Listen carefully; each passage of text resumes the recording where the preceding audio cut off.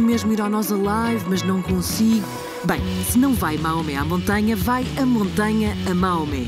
Na décima edição do Nós Alive, aqui estão 10 motivos para não perder a transmissão da RTP. Eles estão de volta. Filomena Cautela e Pedro Fernandes vão apresentar a emissão deste ano do Nós Alive. Não nos vão dar música, mas vão falar sobre ela. Luís Oliveira, Álvaro Costa e Ana Markel vão ser os comentadores de serviço. E claro, a Joana Martins com tudo o que se passa à frente de uma hashtag.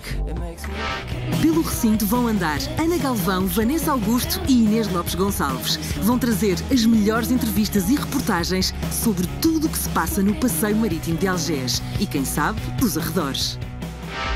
E a verdade é que nada nos vai escapar. Mais de 35 câmaras espalhadas pelo recinto vão fazer com que se sinta em pleno festival. Um estúdio no recinto e a cobertura de seis palcos vão fazer com que não queira mesmo perder esta emissão. Emissões diárias na RTP1 com os melhores momentos do festival e com a melhor música. A RTP3 também estará presente no recinto de Nós Alive. Mas para não perder pitada, o melhor mesmo é acompanhar a emissão online em rtp.pt barra Alive.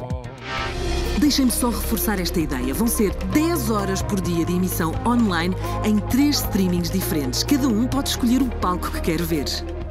Mais de 140 profissionais RTP vão estar no terreno para mais uma vez levar até si a melhor transmissão. Sempre.